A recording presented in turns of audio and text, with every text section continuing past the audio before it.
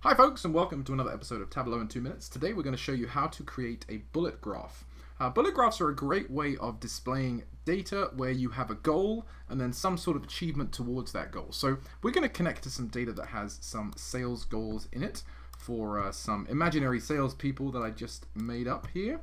Uh, and so uh, you can see that our salesperson goals data has uh, data for John, Jim, James, and Jeff, our four salespeople by month um, along with their sales and their goal for that particular month.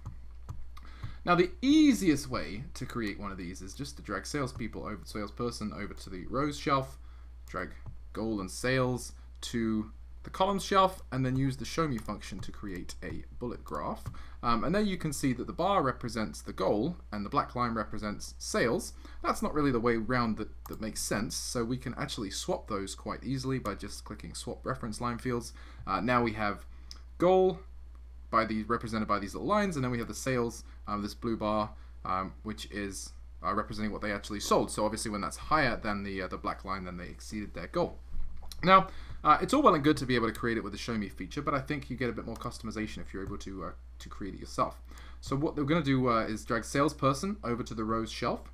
We're going to drag sales up to our columns shelf, and that creates our bars. And then we're going to drag goal to the detail shelf, we're going to add a reference line.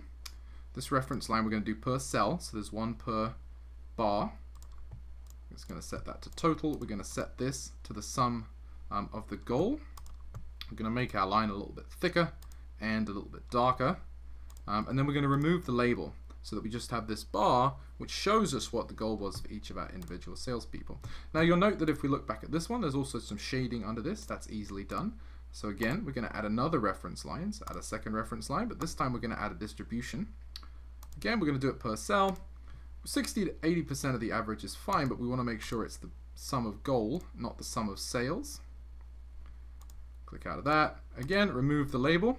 And then we're going to use the fill below option. And that's going to fill up to 60% with this dark gray, then up to 80% with a slightly lighter gray. Click OK. Again, now we have the shading in there, but you'll notice that the bars are slightly thinner, so we can do that, just uh, remove the size, move that down a little bit, uh, and you'll see that our each of our salespeople now has a, a darker shading up to 60% of their goal, and then this lighter shading up to 80% of their goal, and then obviously a bar at 100% of their goal, um, along with this blue line representing what they actually achieved. So packing a ton of information um, about how people are doing relative to a particular goal into a very small space. That about does it for this episode of Tableau in 2 Minutes. If you have any questions, then please leave them in the comments. If you like what you hear, then subscribe to our channel. Uh, and as always, there is a link to the workbook and to the dataset in the video description, and we will see you next time.